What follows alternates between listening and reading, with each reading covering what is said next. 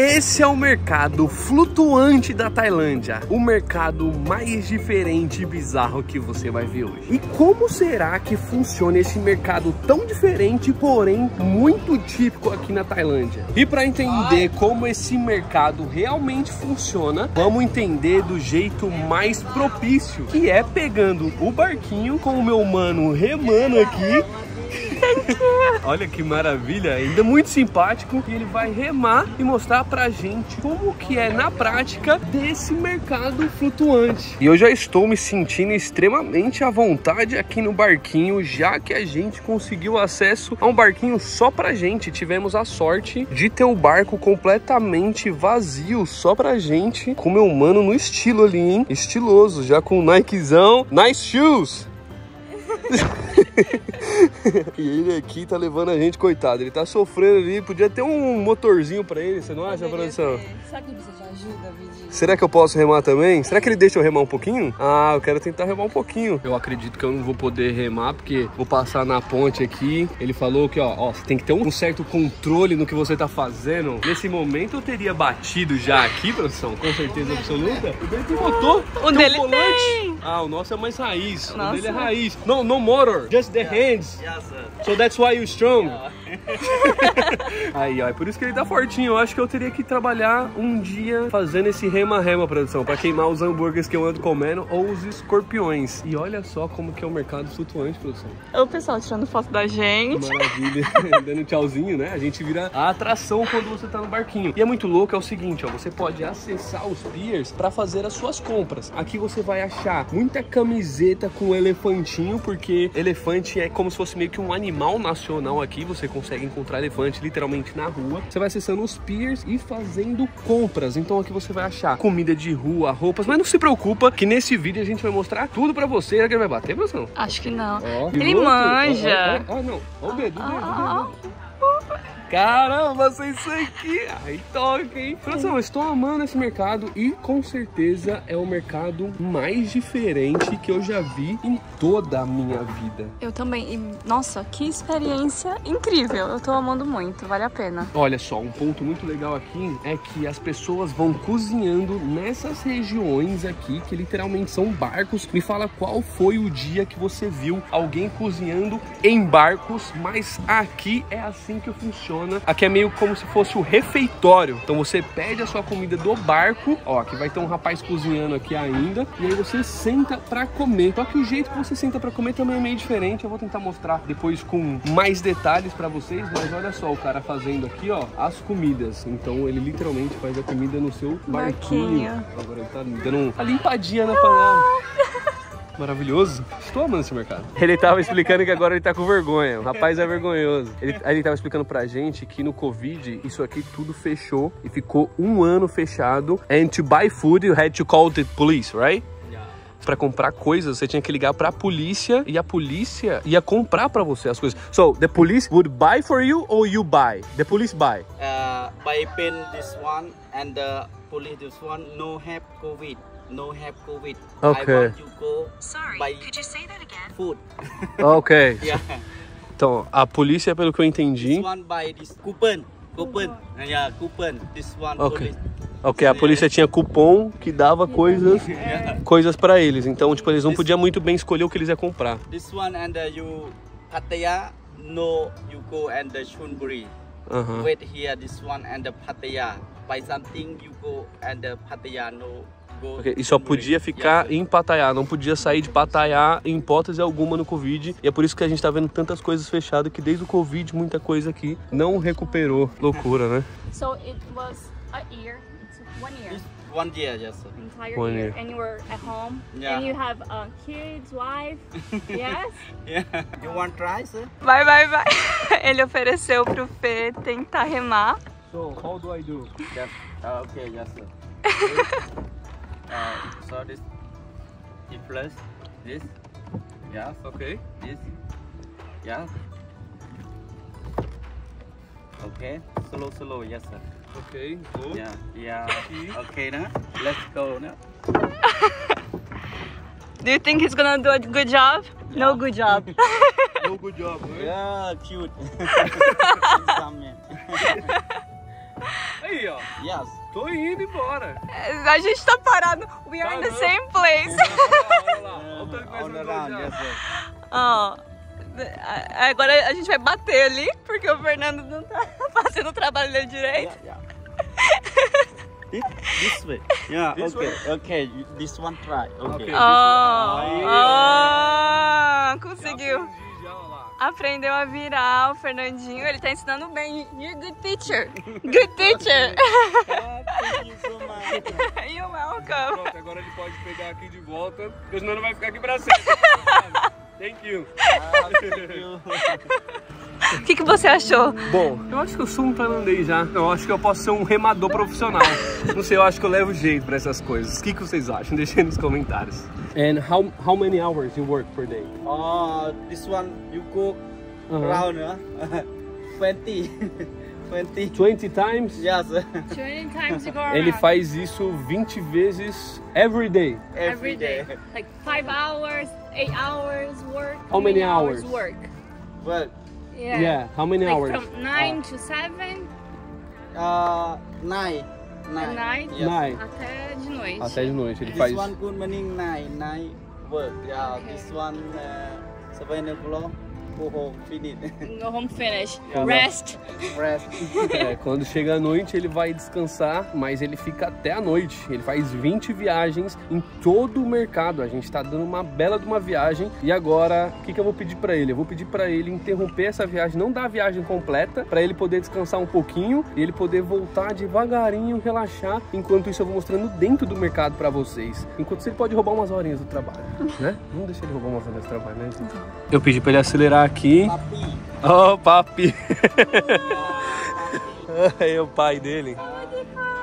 É, o pai dele também.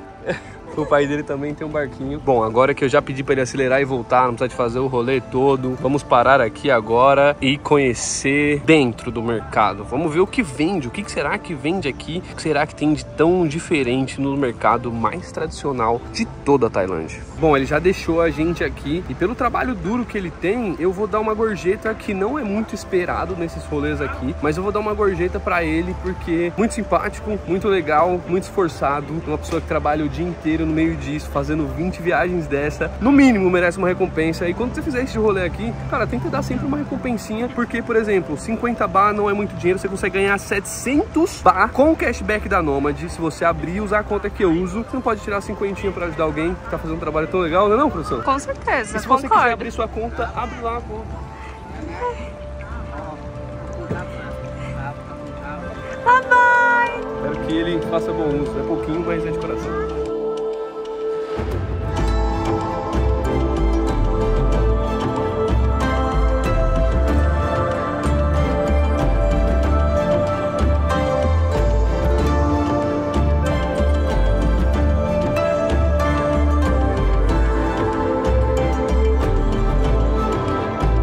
Bom, e assim que você descer do barquinho, você começa a ver literalmente de tudo aqui. A gente tem barraca de sorvete, barraca de vitamina de abacate, uma barraca de arminha de estilingue. Olha só que interessante. Olha, tem de tudo. Olha o tamanho daquilo ali. Ela é gigante. Então, nossa, muito diferente. E vamos agora explorar esse mercado na parte interna. E olha só, o que, que é isso aqui? É carnaval, produção?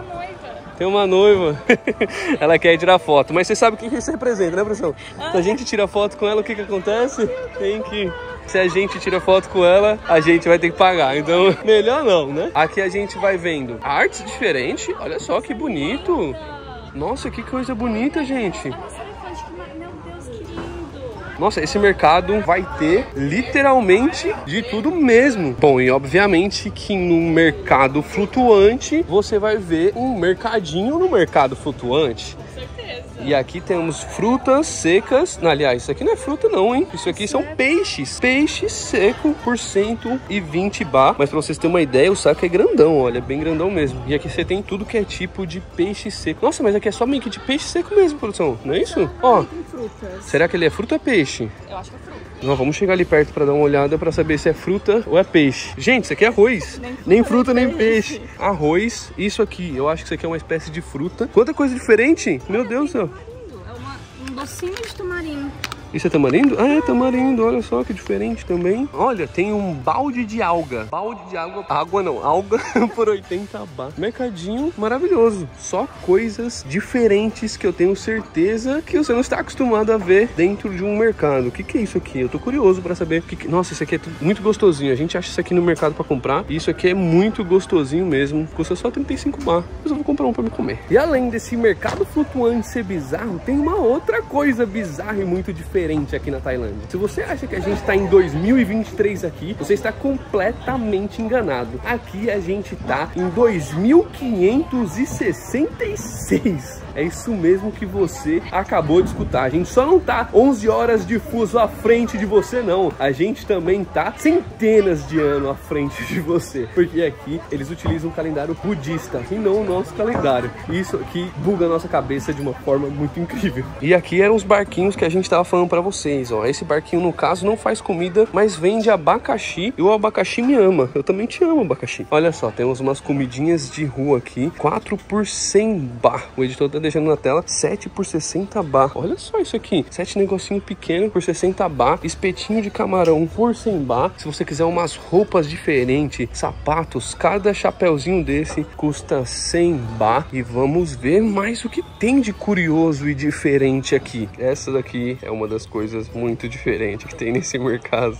A maravilha do mercado flutuante é que você consegue achar literalmente de tudo. Isso aqui é pata de caranguejo frita. Eu nunca tinha visto não. A pata dele frita e como eu tava falando, tem de tudo. Inclusive, quando eu digo de tudo, é de tudo. Inclusive os nossos bichinhos. E a gente já... Não, não, parte 2 não. Não, nada de parte 2. Se você quer ver eu sofrendo, eu já sofri e mostrei pra vocês no canal. Então você pode assistir esse vídeo. Eu vou deixar ele até no final aqui. Você é só clicar nele pra assistir depois que você terminar de ver esse. Uma coisa extremamente curiosa daqui é que nada aqui que eu vi custa acima de 200 bar. Tudo é 49 bar, 100 bar, até roupas aqui é baratinho, é muito barato. Agora lembra, se você pegar o seu cashback da Noma de meu amigo, aqui nesse mercado você faz a festa. É capaz de você conseguir comprar até uma mala dessa aqui. Não tem preço essa daqui. Essa aqui é negociável, mas eu acho que quando é cashback da Noma você compra pelo menos duas dessa aqui. Hein? Agora, por 100 bar, você conseguiria ficar por tempo ilimitado com o seu pepézinho aqui, ó, dentro de um tanque de peixe que come todas as peles mortas. Poderia ficar a quantidade de tempo que você quiser. Produção, quer ficar aí, ó, com o pé